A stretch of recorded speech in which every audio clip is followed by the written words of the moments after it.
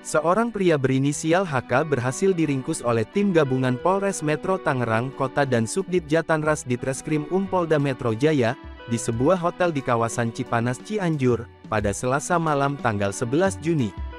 Ramai diberitakan sebelumnya bahwa sekelompok orang bersenjata tajam melakukan aksi perampokan dengan kekerasan di sebuah toko di kawasan Pantai Indah, Kapuk 2 pada Sabtu tanggal 8 Juni tahun 2024, dengan total kerugian mencapai 14 miliar rupiah.